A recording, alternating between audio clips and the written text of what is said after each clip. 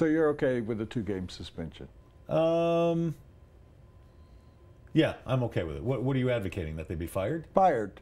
Fired, and the ACC Boy, commissioner pretty should grow a set and reverse the decision. That I like. Duke is having a good year. Miami has fired its coach Al Golden. They're not going anywhere. Duke is in your conference. Protect your conference. Yeah.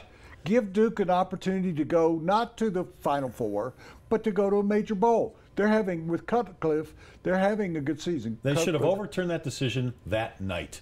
well, the NCAA doesn't allow it. But if I'm the ACC commissioner, I go, this is a travesty for the integrity of the league, as baseball says, uh, for the betterment of the game. You know, Yeah. they use that, invoke that rule.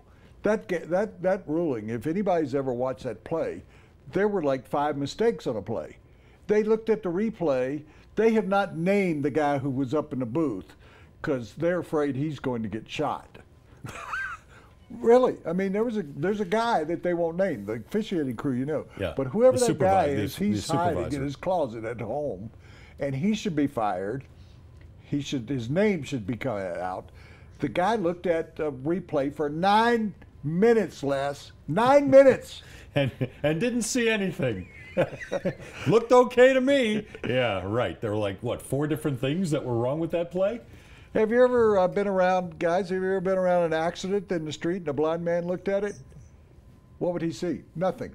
Guess what? That's what the replay guy saw. I see. Nothing. He's like Sergeant Schultz from the old Hogan's Heroes. I see nothing. Golf for Aurora. This segment is brought to you by Golf Aurora, and I try to add a little something each time.